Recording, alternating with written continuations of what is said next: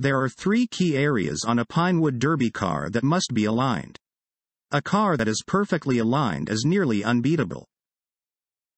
Before diving into the three key areas, we need to address something that is related. One of the biggest areas of concern on fast Pinewood Derby cars is stability. If a car becomes unstable while going down the track, it will begin to shake or wiggle. This slows the car down considerably.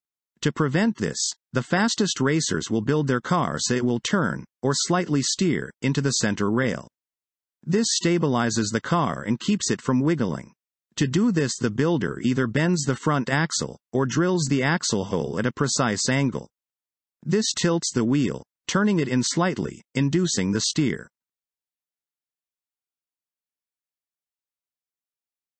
The first area on the car that needs to be precisely aligned are the rear wheels. The fastest cars tilt or camber their wheels to 3 degrees. This accomplishes two things. It minimizes the surface area of the wheel that contacts the track, thus reducing friction, and the angle encourages the rear wheels to migrate outward on the axle so the wheel is riding against the axle head, rather than moving in and rubbing against the car body creating friction. However, to maximize speed, you must make sure the rear wheels are parallel and directly across from each other.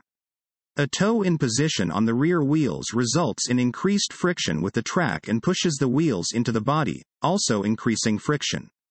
A toe out position increases friction with the track and axle head, and allows air to enter the rear wheel cavities creating drag.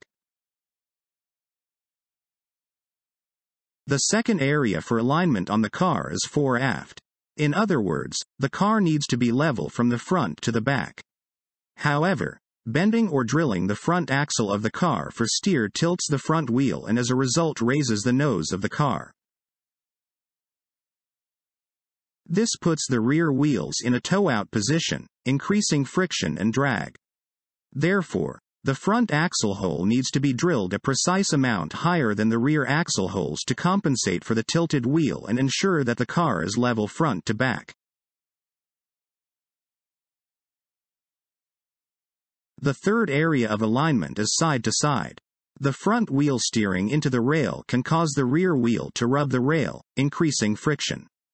To eliminate this problem a precise amount of the car body next to the front wheel needs to be removed. This ensures the rear wheels will be an equal distance from the center rail and the car will not go down the track slightly sideways, increasing friction and killing speed. These three key alignment areas can be very difficult to achieve with the current options available. However, the Turbo Jig from Turbo Derby is the only device on the market that addresses these three key alignment areas. The Pinewood Derby block is placed into the jig and the holes for all four wheels are drilled at the exact location for perfect alignment, and therefore maximum speed. Inserting the axles into precisely drilled holes is far superior and much faster than using the pre-cut axle slots that come in the block. The jig is also used to measure the precise amount needed to cut from the body for side-to-side -side alignment.